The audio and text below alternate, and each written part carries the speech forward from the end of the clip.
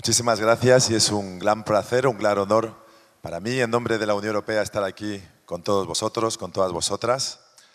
Voy a hablaros del aspecto más institucional, de compromiso 25 por 25, 25 compromisos por el 25 de noviembre.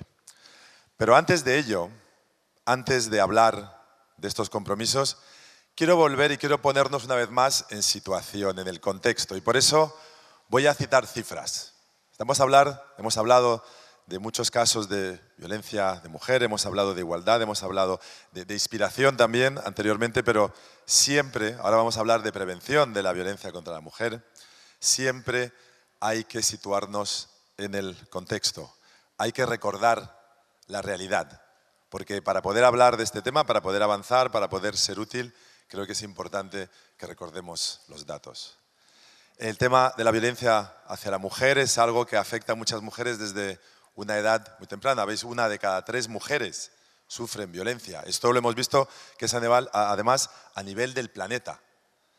Pero millones de mujeres ya están sufriendo violencia sexual y millones más sufren violencia física. Y además es algo que afecta todos los ámbitos incluso el ámbito político, ¿no? donde 85% de las parlamentarias denuncian acoso, denuncian violencia. Y podríamos extendernos y podría pasar horas aquí dando estadísticas. Dije que eran importantes las estadísticas, pero hay que recordar siempre eh, los, números.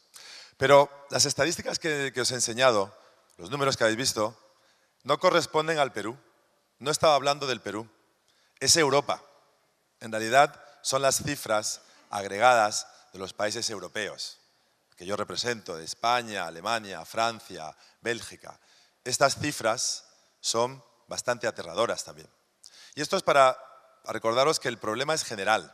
No es solo el Perú, desde luego en el Perú es, importante, es grave, también existe en Europa. Por lo tanto, estamos juntos en eso, tenemos una voluntad tanto en Europa como en Perú, de trabajar. Y por eso la Unión Europea ha estado colaborando, hemos estado implicados también en, uh, en, este, en esta lucha.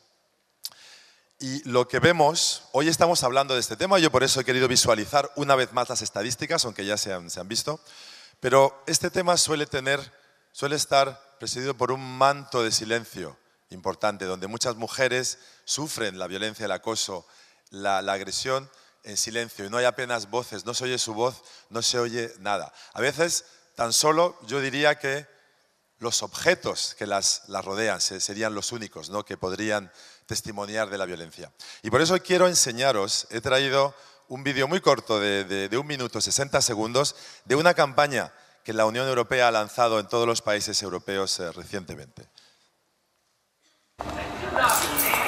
Every night, she holds on to me tightly, as if I could protect her.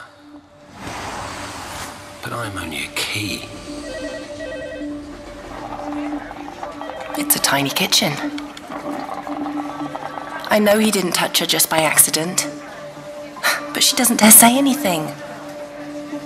They wouldn't believe her. That photo wasn't meant for everyone to see, and he knew that. Now they all call her names. Some even threaten her. She's only 14, but she thinks her life is over. She feels trapped in her own home. Today he got so angry, he threw me right at her.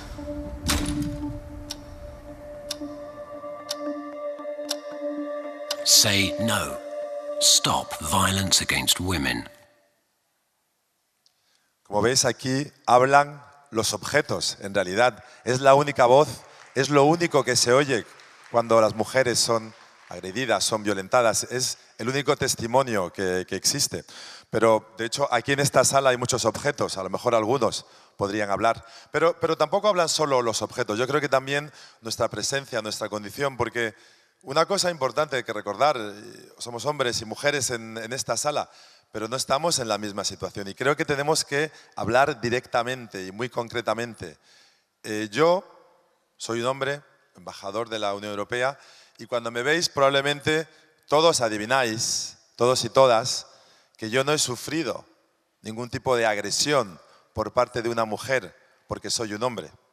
Y en realidad cuando veo a los demás compañeros que están aquí, Sebastián eh, u otros que han hablado, ponentes, o los demás hombres que tampoco conozco, conozco a muy pocos hombres aquí hoy, pues de manera intuitiva podemos concluir que en realidad ninguno de vosotros habéis sido agredido por una mujer o por un grupo de mujeres solo porque sois hombres, ¿verdad? Eso lo podemos decir nosotros entre hombres. Pero en cambio, cuando os veo a vosotras, a la ministra, incluso que está aquí, a, las estudiantes, a las demás ponentes, a las mujeres inspiradoras que han hablado antes, que yo, a la, a la mujer policía que está allí, a todas vosotras, yo no puedo afirmar lo que ha afirmado hacia los hombres. Viendo a mis compañeros digo, bueno, entre nosotros, nosotros no hemos sido agredidos por una mujer, pero yo no puedo afirmar que vosotras no habéis sido en vuestra vida agredidos, agredidas, insultadas, atacadas, simplemente por ser mujeres. No podemos decirlo nosotros hacia vosotras.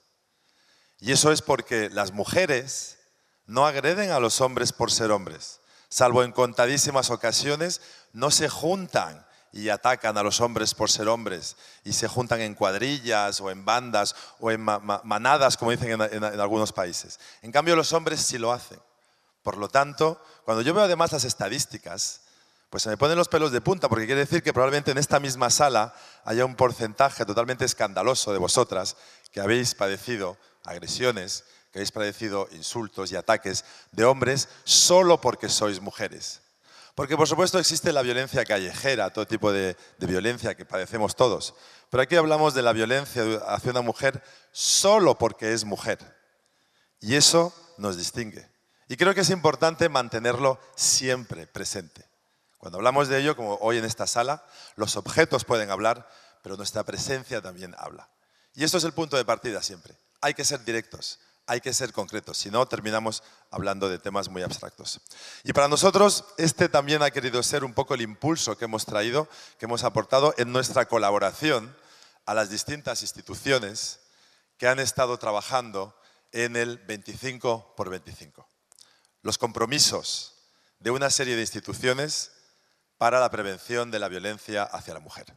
Y han colaborado instituciones peruanas, por supuesto, es un ejercicio eminentemente peruano, bajo la dirección del Ministerio de la, Mujer y de, la, de su ministra, y con apoyo de la comunidad internacional. Porque como decía yo al principio, en Europa, por ejemplo, conocemos perfectamente el bien el problema, se sufre de la misma manera que aquí. Y estas instituciones han estado trabajando, se han juntado, ha habido apoyo de expertos, algunos de ellos han estado aquí hablando, internacionales y también nacionales, y han llegado a una serie de compromisos a una serie de acciones concretas que se han comprometido a realizar. Y se han dividido estas eh, acciones, estos compromisos, en ocho sectores. En realidad hablamos de 25 compromisos, pero han sido muchos más. El, ejercicio ha tenido mucho éxito y hemos llegado, creo que a más de 60 compromisos. Por supuesto, no los voy a enumerar todos, pero simplemente apuntar que hay ocho sectores que se han comprometido, que han hecho un catálogo de los compromisos que ellos eh, adquieren y los han eh, publicado. Y tenemos pues, los tres poderes del Estado. Desde el Poder Ejecutivo se ha comprometido, por ejemplo, entre otras cosas, a incrementar los fondos para la prevención de la violencia hacia la mujer. O el Poder Legislativo, la Comisión de la Mujer, que se ha comprometido a presentar un proyecto de ley sobre la violencia política hacia las mujeres. También el Poder Judicial se ha comprometido a capacitar a jueces y fiscales para que sean capaces de dar la debida atención a las mujeres que son agredidas porque son mujeres, que han sufrido ataques sexuales o ataques físicos. Tenemos también a las eh, eh, empresas y sindicatos que se han comprometido, entre otros, porque hay una lista, un elenco bastante importante, se han comprometido a asegurarse de que llegamos a una política de tolerancia cero en las empresas hacia el acoso sexual. O las organizaciones feministas que se han comprometido también a fortalecerse para ofrecer mayor apoyo a la mujer. Y tenemos el mundo académico, el mundo universitario. Estamos en una universidad, ciertamente, y las universidades se han comprometido a establecer protocolos para evitar el acoso e intercambiar buenas prácticas para el acoso. Porque ya que estamos en una universidad es importante, porque este ejercicio ha dado lugar a un gran debate también dentro de cada uno de los sectores. En el sector universitario, ya que estamos en la Universidad de, de Lima, se ha visualizado claramente que el gran problema de acoso y de violencia hacia la mujer no ocurre como se suele pensar el profesor que acosa a la alumna y tal, también ocurre, ¿no?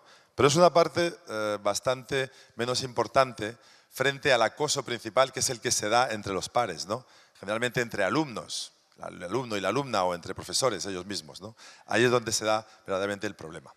Y finalmente los medios de comunicación, ya que estamos eh, en, en RPP, se han comprometido a una serie de acciones, pero una de ellas que yo subrayaría es que se han comprometido a darle la cobertura adecuada a los episodios de violencia de género, violencia hacia la mujer, donde no se van a utilizar expresiones como crimen, pasional u otros, sino feminicidio y agresión sexual y agresión eh, física.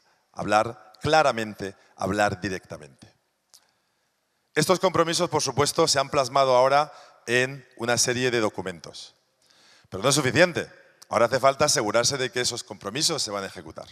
Por lo tanto, el proceso de 25 por 25 también incluye eh, un seguimiento por parte de la sociedad civil, por parte de organizaciones diversas y también una veeduría por parte de la, eh, Defensoría del Pueblo.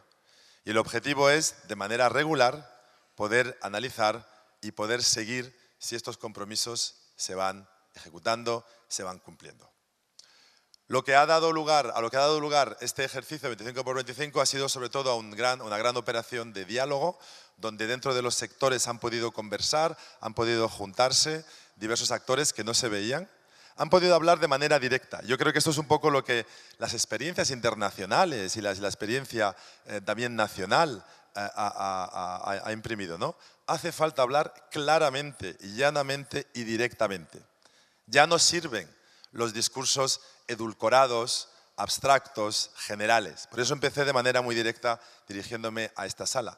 Y esto es lo que tenemos que tener presente constantemente, que la realidad está presente. Vosotras lo sabéis, mucho mejor que nosotros, porque vosotras sois las que sufrís las agresiones directamente relacionadas a vuestra condición de, mujer. Y esto tiene que estar presente, esto no se puede poner unos paños fríos por encima y pretender que es un dato eh, más genérico. Por lo tanto, los compromisos están allí, han sido adoptados, habrá un seguimiento y nosotros esperamos que esto sea una contribución a cambiar la situación. Pero para terminar, me temo que no puedo dar un final feliz a esta historia, porque la realidad sigue ahí, la realidad está presente. Y yo decía que no puedo saber si vosotras, algunas de vosotras o muchas de vosotras habéis sufrido agresiones, habéis sufrido eh, ataques porque sois mujeres. Lamentablemente la situación no ha cambiado, la situación sigue así. Yo espero que nosotros podamos contribuir a que evolucionen los estereotipos, a que la situación vaya cambiando, a que imágenes como estas, que por cierto pertenece a una campaña del gobierno sueco, para cambiar la imagen de los hombres dentro de la, de la, familia. La familia, una institución totalmente defendida, por ejemplo, ¿no? por, la, campaña eh, del, gobierno sueco, pero a la que hay que darle una mirada diferente. Por lo tanto, se trata de cambiar estereotipos, se trata de evolucionar, de eliminar las telarañas mentales que muchos hombres tienen en su mente y en la mirada que dan hacia la mujer. Yo espero que el tipo de iniciativa de hoy, 25 por 25, haya servido y nosotros nos comprometemos a este seguimiento, a seguir trabajando con el Perú, con las instituciones, con la sociedad civil, para que se puedan ejecutar estos compromisos y que de, de verdad se pueda reducir y eliminar por completo la violencia hacia la mujer. Muchas gracias.